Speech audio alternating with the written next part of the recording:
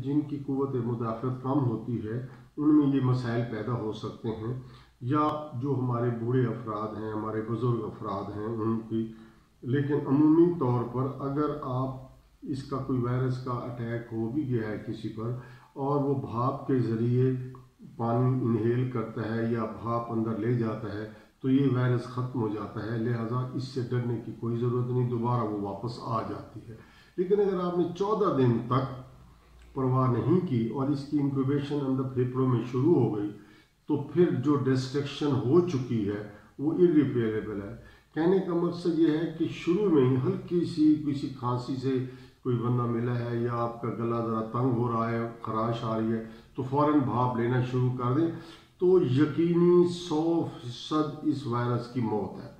इसमें परेशान होने की बात नहीं है। डरें ज़रूर डराए भी ज़रूर, लेकिन एहतियात बहुत ज़रूरी है। अगर आप ये कर लेंगे तो आपकी कुत मुदाफ़त भी बढ़ जाएगी। इसके लिए जो आम शर्त है, जहनी तौर पर ख़ुद को रिलैक्स रखना और आराम करना है, क्योंकि सोने से आपकी कुत मुदाफ़त बढ़ जाती है, आपका निज़ाम इंज़ाम ज़रा स्लो होता है, खून में पावर जाती है और जो एंजाइम्स हैं अपना आपकी कुत मुदाफ़त के, वो उसको बढ़ा देते हैं। अच्छा डॉक्टर साहब एक चीज़ ये भी बताएँ कि मतलब सब कुछ सुनने में भी आ रहा है और काफ़ी जो डॉक्टर हजरात हैं इस हवाले से काफ़ी कुछ बताते हैं मालूम के लिए।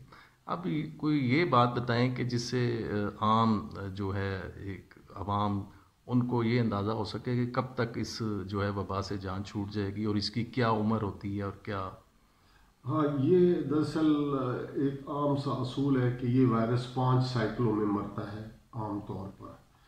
पहला साइकिल जब शुरू होगा तो अगला साइकिल उसका शुरू जब होता है तो उसका पीरियड आधा हो जाता है, यानी उसकी पावर कम हो जाती है। फिर उससे जो अगला साइकिल है, वो फिर उससे पावर कम हो जाती है। चलते चलते जब पाँचवें साइकिल तक आता है तो ये बिल्कुल ही खामोश हो जाता है, ख़त्म हो जाता है।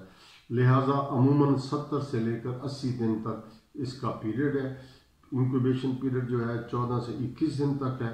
तो मुमकिन तौर पर अस्सी दिन में ये बिल्कुल वायरस ख़त्म हो जाएगा। हमारे पाकिस्तान में चालीस दिन हो गए हैं। अभी हमें चालीस दिन और इंतज़ार करना है, लेकिन एहतियात के साथ अगर आप एहतियात नहीं करेंगे तो ये और बढ़ता जाएगा। अगर आपने एहतियात किए तो जिस जिसको लग चुका है वो ऐसा ऐसा फैलते फैलते आजकल जो पीक लेवल है हमारा ये 20 दिन अभी रहेगा, उसके बाद ये लेवल कम होना शुरू हो जाएगा और इन 40 दिन और पूरे होने के बाद इस मोजी वायरस का कला कम हो जाएगा और पूरी इंसानियत को सुकून मिलेगा।